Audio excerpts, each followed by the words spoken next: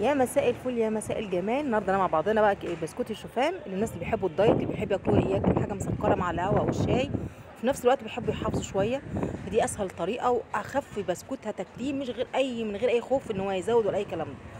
فأنا عندي النهارده ثلاث كوبايات شوفان عليهم معلقتين عسل أبيض عليهم علبة زبادي عليهم كوباية لبن دافية ونص معلقة شاي أو معلقة شاي صغيرة baking powder ونص معلقه يعني باكت فانيليا و chocolate chips عشان أعمله نحطه في الآخر بعد ما يتعجن.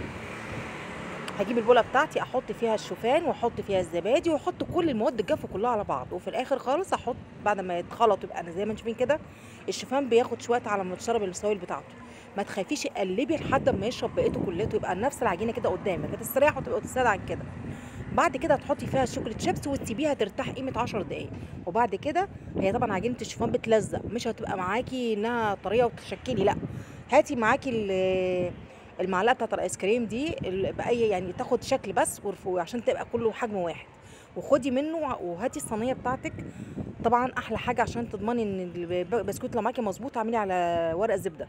ادهني ورق الزبدة وحطي في صينية ألمونيا بتاعة الخبيز بتاعتك وبالقلب المعلقة وعايري معلقة البسكوتة وحطي جنب بعض. تشوفي بعملها إزاي. وجنب بعضه جنب بعضه هياخد كله شكل واحد ومقاس واحد معاكي ومش هيتعبك في قلب التشكيل. بيت حبيت تسيبيه قيمة 10 دقايق وبعدين تدخليه الفرن 180 درجة حرارة في الرف الوسطاني. ما بيتاخدش كمان ما بيحتاجش ما بيلحقش ياخد وش إن هو طبيعي أصلا ما بيلحقش حاجة. دوبك هو يعني ربع ساعة كان طالع البسكوت زي الفل.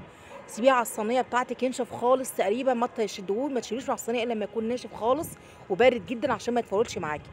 أول لما يبرد معاكي وكده ابتدي طلعيه وحطيه في قلب علبة بلاستيك بتاعتك واقفلي عليه وعندك عاملة كوباية شاي عاملة فنجان قهوة في وسط النهار عايزة حاجة مسكرة ده أحلى أحلى يعني أحلى سناكس تاخديه وانت قلبك مطمن. بسكوت الشوفان بسكوت عمايله سهلة جدا وطريقته سهلة يا رب يعجبكم رايكم فيه السلام عليكم ورحمة الله وبركاته.